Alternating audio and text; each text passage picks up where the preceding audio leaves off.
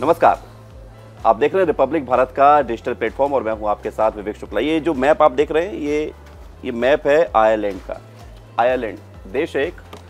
सबसे बड़ी बात है कि भारत की आबादी तो दुनिया में सबसे ज़्यादा है, लेकिन यहाँ पर आबादी बहुत कम हो रही है।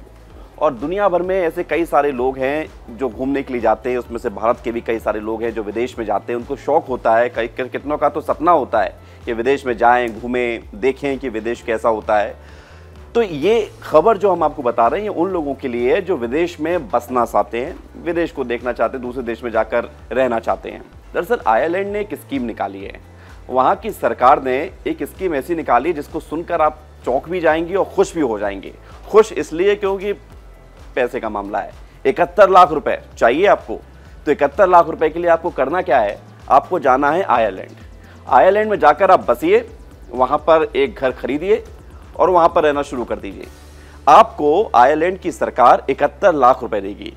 इसके लिए कुछ नियम हैं, लेकिन उससे पहले आपको यह जानना ज़रूरी है कि आखिर ऐसा हो क्यों रहा है। क्यों आयरलैंड वहाँ पर लोगों को बुला रहा है और ये ऑफ़र दे रहा है कि वो आए यहाँ पर बसें तो सरकार इकहत्तर लाख रुपए देगी।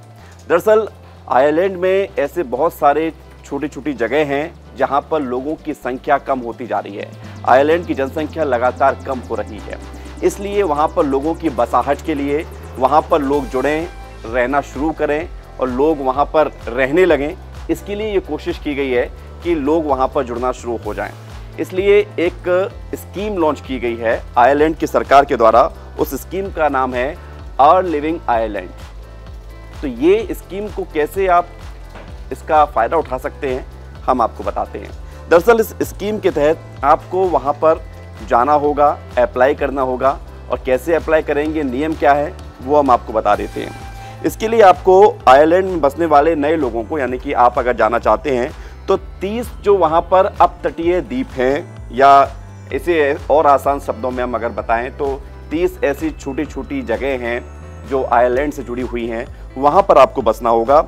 उसके लिए एक किसी भी उन तीस में से किसी भी एक द्वीप पर आप जाइए, एक प्रॉपर्टी खरीद डालिए। थोड़ा सा जेब से इन्वेस्ट करना पड़ेगा। भाई इन्वेस्ट करते तभी पैसा आता है।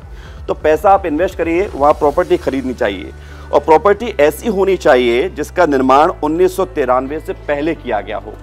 तकरीबन 30 साल पहले जिसका निर्माण हुआ हो, वो प्रॉपर्टी आपको खरीदनी होगी। इसमें दूसरी कंडीशन ये है कि वो प्रॉपर्टी दो साल से खाली हो, वहाँ पर कोई ना रह रहा हो। इसके बाद सरकार क्या करेगी?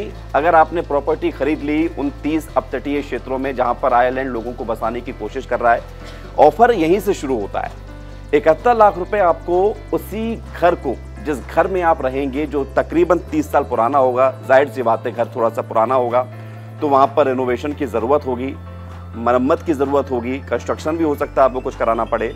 तो वो इकहत्तर लाख रुपए इसीलिए दिए जा रहे हैं ताकि आपको रहने में दिक्कत ना हो। और चूँकि वहाँ पर फ्री में आपको कंस्ट्रक्शन के लिए या रेनोवेशन के लिए इतनी मोटी रकम दी जा रही है तो लोग इससे प्रभावित हों। सरकार के द्वारा इकहत्तर लाख रुपए दिए जाएँगे। उसका इस्तेमाल, उस खरीदी हुई प्रॉपर्टी की मेंटेनेंस में होना चाहिए। ये एक बड़ी कंडीशन है। मतलब हर घर का खुलिया सुधारने या इसे नए सिरे से बनाने के लिए, निर्माण करने के लिए जो पैसों की ज़रूरत होगी, जो कि आप खर्च करते, अगर आपको वो प्रॉपर्टी खरीदनी होती और उसमें रहना होता वो खर्च सरकार उठाएगी और इस खर्च की म्याद है इकहत्तर लाख रुपए, यानी कि तकरीबन अस्सी हज़ार यूरो। एक जुलाई से इसके लिए अप्लाई शुरू हो जाएँगे। एक जुलाई से बच्चों के स्कूल के सेशन खुलते हैं।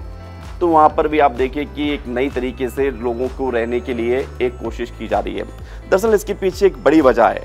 आयरलैंड सरकार की ये मजबूरी बन गई है कि लोगों को वहाँ पर बसाया जाए, जहाँ पर वो जगह खाली हो चुकी है, जिन 30 अपतटीय क्षेत्रों की हम बात कर रहे हैं, जगहों की बात कर रहे हैं। और इसलिए सरकार ने इस स्कीम को लॉन्च किया है। अगर आप भी आयरलैंड जाकर बसना चाहते हैं, उन द्वीपों पर रहना चाहते हैं, जो कि खाली हो चुके हैं करीब करीब तो आपके लिए ऑफ़र है, आप जाइए, अप्लाई कीजिए, और हो सकता है कि आप आयरलैंड के निवासी हो जाए। हालाँकि, देश को छोड़कर जाना एक बड़ी बात होती है, हर किसी के लिए आसान नहीं होता लेकिन बहुत सारे लोग हैं जो किसी दूसरे देश में जाना चाहते हैं तो उनके लिए ये ऑफ़र है। सबसे बड़ी बात है, ये मजबूरी सरकार की वहाँ पर इसलिए बन गई है क्योंकि ऐसे तमाम क्षेत्र हैं, आयरलैंड के उन तीस अपतटीय क्षेत्रों में, द्वीपों में, जहाँ पर लोगों की संख्या ना के बराबर हो गई है। लोग आएँगे, ज़ाहिर सी बात है, जब लोग आएँगे तो लोग बसेंगे, भीड़ इकट्ठा होगी तो उसके बाद फिर वहाँ पर लोगों की रहने की सुविधाएँ भी बढ़ाई जाएँगी। सरकार के लिए कामकाज करना भी आसान होगा। जो पॉलिसीज़ होंगी, वो भी लोगों को फ़ायदा पहुंचाएँगी।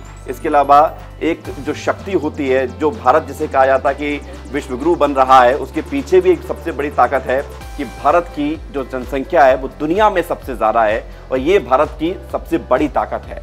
आयरलैंड इस ताकत में सबसे कम है क्योंकि उसके द्वीप खाली हो रहे हैं, उसकी जगह खाली हो रही है और इसलिए उसको ये मजबूरी में इकहत्तर लाख रुपए का ऑफ़र देना पड़ रहा है। तो आप जाइए, इकहत्तर लाख रुपए अगर आपको कमाने हैं तो आयरलैंड में जाकर बसिए, घर खरीदिए, तीस साल पुराना, उसकी मेंटेनेंस के लिए आपको पैसे मिलेंगे। इकहत्तर लाख रुपए कोई छोटी रकम होती नहीं है। हाँ लेकिन ये ज़रूर है कि अगर आपको वहाँ पर बसना होगा तो और ज़्यादा नियम को या फिर उनकी जो शर्तें हैं सरकार की, उसको फॉलो करना पड़ेगा। नमस्कार।